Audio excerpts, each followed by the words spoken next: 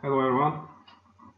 Uh, my subject is positioning and tracking uh, within cellular network uh, out of GPS satellite systems.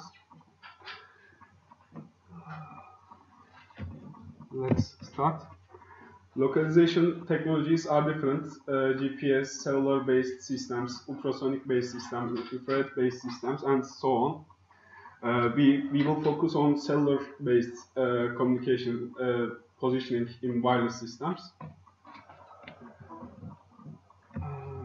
Also, uh, cellular network is used within uh, the global navigation satellite system with for critical indoor positioning scenario because the efficiency is higher. So they they might work together also the cellular network, uh, cellular network system and GPS systems. So in each base station you have GNSS information? Uh, exactly. Actually, I don't know. Combination of them, uh, it's not my subject. Uh, I just uh, um, focus on cellular network itself. Uh, GPS-based systems can find the current position only in outdoor environment uh, has, and has limitations for indoor positioning. Uh, also, when we consider GPS, uh, the signal uh, goes to ionosphere and comes from again. Uh, so there is a, a influence uh, of electronic clouds, etc. so the base using base stations for cellular using the cellular network is more efficiency it gets high efficiency.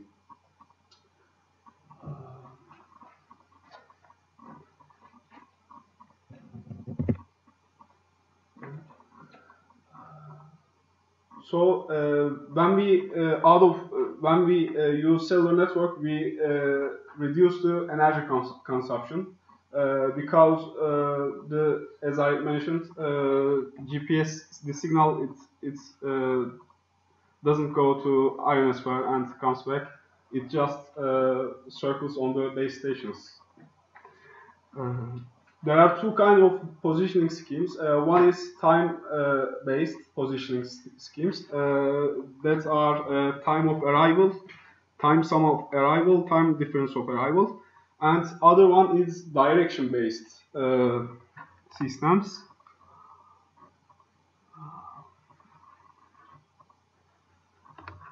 Direction-based systems.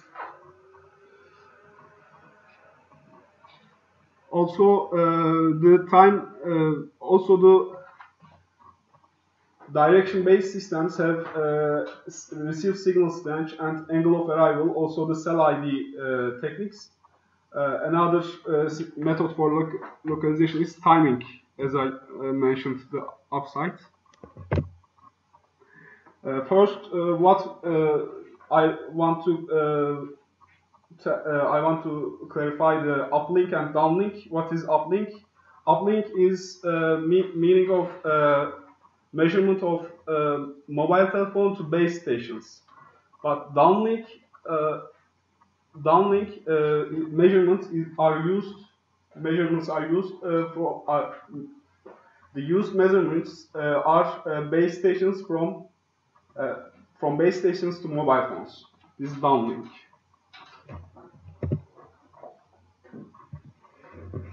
Position estimation uh, with TOA, uh, time of arrival. Uh, when we consider the base stations here, they are all uh, they are all form a circle. Since the base stations have a co coverage area, so they uh, they form a circle in two-dimensional navigation solution.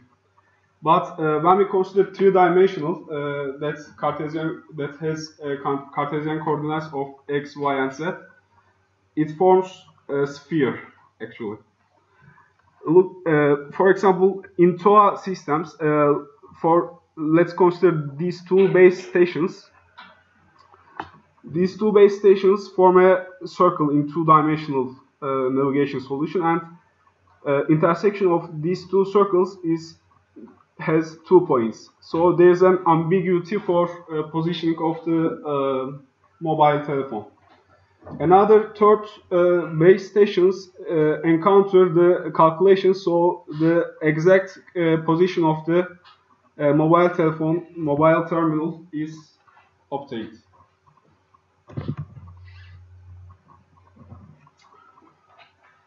Trilateration, the term trilater, trilateration and triangulation are uh, used for the trilateration is uh, time-based uh, techniques and triangulation is uh, angle angular uh, the angle of arrival uh, is measured in this technique.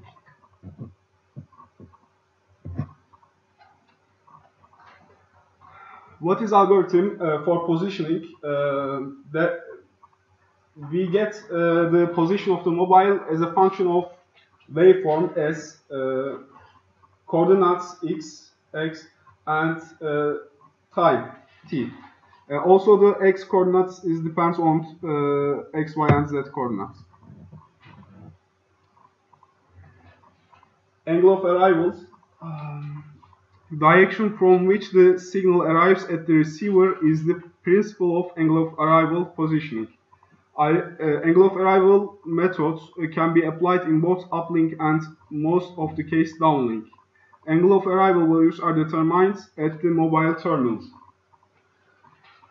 So uh, in two-dimensional case, we have uh, MT position x, y, uh, x and y. Uh, angle of arrival difference uh, from base stations 1 and base stations 2 is phi1 and phi2. those this calculation is form an arc. As you see, it's form an arc here. But in two-dimensional case, uh, it has it it could be uh, two base stations from the uh, calculation of two base station give us uh, two here um, sorry about that uh, this is uh, considering the orientation of MT mobile telephone what is orientation of MT actually? It is uh, orientation of the mobile terminal to its antenna. So if we consider the uh, orientation of the mobile telephone, there could be two position, two position, two different positions. So we need to know the orientation of the mobile ter terminals. And what, what about 3D uh, what about 3D solution? Let's look at that. In 3D, uh, considering the 3D position, uh, x, y, z are unknown. So we have three unknown. And also the three, when we consider the two-dimensional uh, navigation solution, orientation of the mobile telephone gets uh, azimuth and ele elevation angles. Uh, Actually, the two-dimensional has elevation, but uh, see, uh, here we have also azimuth for mobile ter mobile terminal. So uh, five five unknown he here is we have five unknowns, which can be obtained from the measurements of azimuth and elevation to at least three base stations.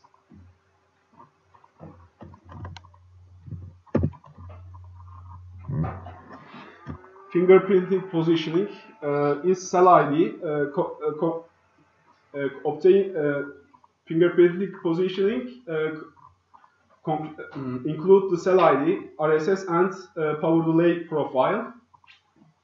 What is cell ID?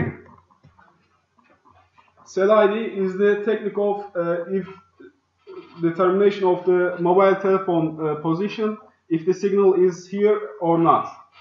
If the signal of three base stations uh, is here, the position of the uh, mobile terminal uh, in the intersection of these circles.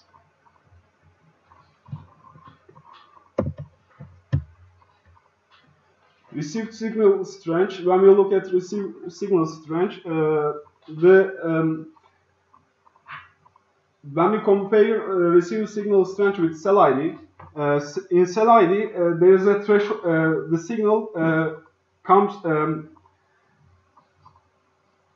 uh, comes downside. Uh, the signal is uh, downside of the threshold.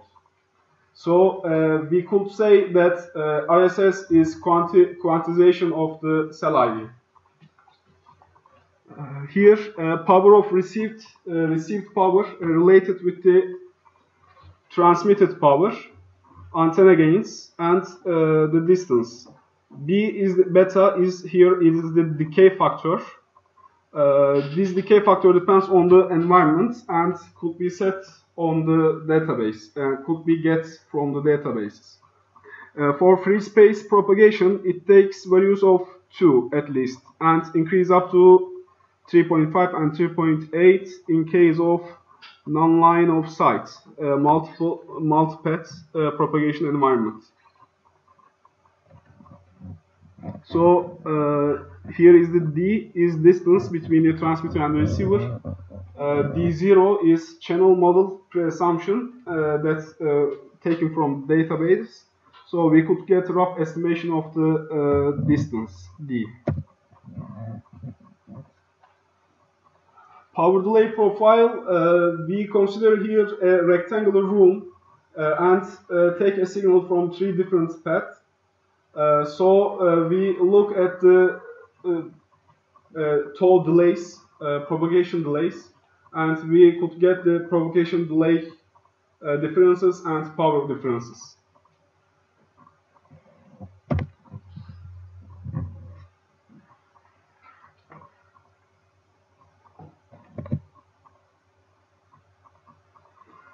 Tracking. Uh, when we consider positioning, uh, we uh, we, as, we assume that the mobile is uh, stationary. But in the case of tracking, uh, mobile is not stationary. So we we should take the history of the uh, mobile's position.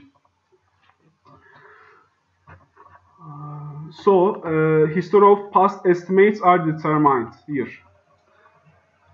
Future states like position or velocity can cannot impact current and past estimates. Vice versa is not true.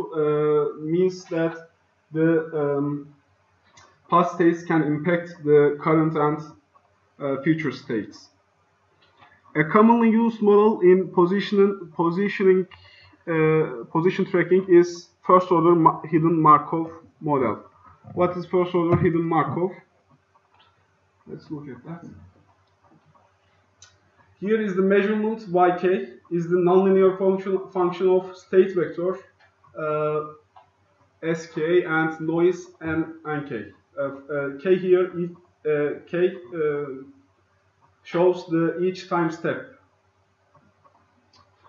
For hidden Markov model, each time each time step k, it's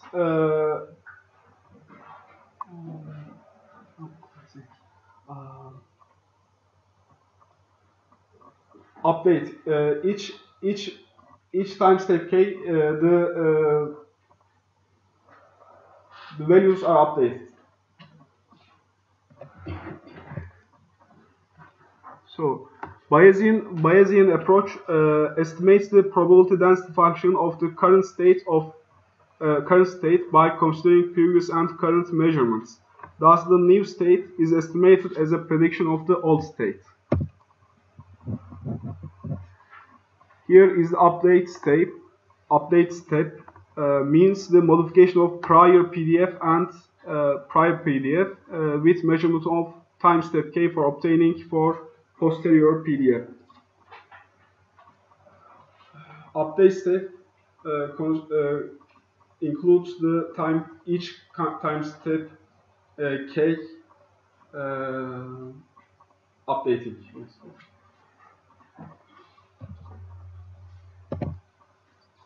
Actually, Kalman is also minimum mean square estimator, so yes. the Bayesian approach. Yes, uh, Kalman filter. Uh, here is some equations uh, for Kalman filtering, uh, but I don't go further in detail. Kalman filter is one of the commonly used implementation of Bayesian filters. It is a generalization of Wiener filter, the Wiener filter that the signal and noise must not be stationary. So tracking could be done. Here, uh, is a tracking example of tracking. These are the coordinates of x and y. Uh, base stations uh, here base stations. Uh, this is mobile uh, tracking one and tracking two. Uh, tracking is starting here and past history of the tracking is recorded and uh, the way of tracking is determined. Is here is the uh, uh, this is uh, end of the tracking. Tracking starts from here and ends from here. So how you understand you track the object? Uh, we track the objects. I mean, you have Yes, we we consider the past estimates of the, the positioning. Is that tracking in the previous one? Yes. Here, Here is uh, past estimates. E- each each time step k, uh, it shows uh, each um each dot uh, shows uh, the each time step k for positioning and uh, recording of that position gets gets gets us tracking.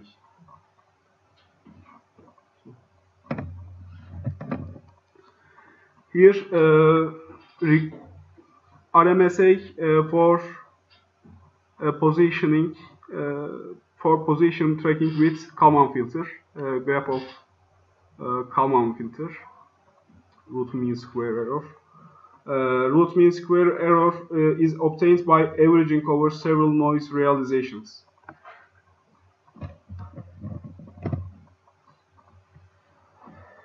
And this is uh, extended Kalman filter. Uh, the result is much better from the Kalman filter. Actually, I don't know. extended Kalman filter, I don't know actually. But If you have non-linear model instead of linear one, linear one, you can use the regular Kalman. But if you have a non-linear observation model, then you have to use extended Kalman filter. Extended Kalman filter actually linearizes the equation first and then updates.